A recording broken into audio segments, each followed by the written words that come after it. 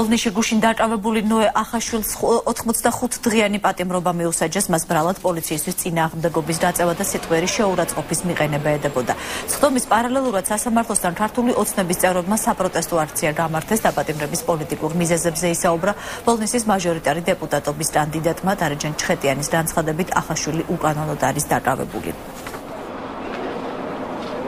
ეს არის პოლიტიკური დევნა გუშინ აქ იმყოფებოდა პრემიერ-მინისტრი მერაბიშვილი და როგორც ჩანს ეს სერიულად გაგრძელდება ეხლა დევნა ჩვენი წევრების მიმართ.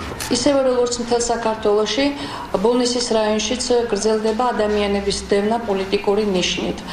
აა მუქარა დაშინება სამსახურებიდან დათხოვნა დაემატა ახლა პოლიციის მხრიდან უკანონო ადამიანების დაკავება.